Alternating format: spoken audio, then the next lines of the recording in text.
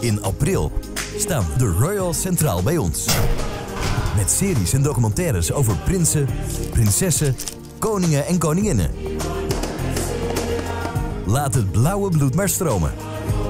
All these little things built up, suddenly feeling that life was different. Ik zweer aan het Nederlandse volk dat ik de grondwet steeds zal onderhouden en handhaven. De hele maand april bij ons.